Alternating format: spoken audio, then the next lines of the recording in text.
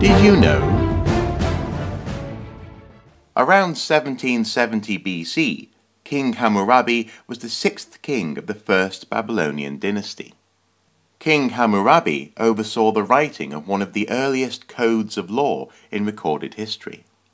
These laws were written onto pieces of stone over eight feet tall, copied many times into various forms so that as many people as possible could read them and know them and act by them.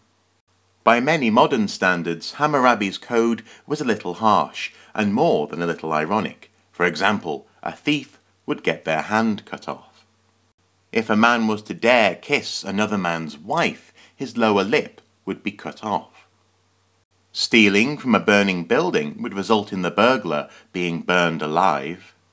And charging too much for a drink was punishable by drowning. Hammurabi's code did advocate presuming innocence until proven guilty.